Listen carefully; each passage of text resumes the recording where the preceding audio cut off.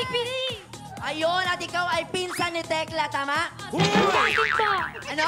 Second kasi. Second cousin. Scam pala to. Second casting ka pa. Ah. Dahil dyan, be, ito aking tanong sa'yo. Ano sa English ah, ang sana kahit minsan? Just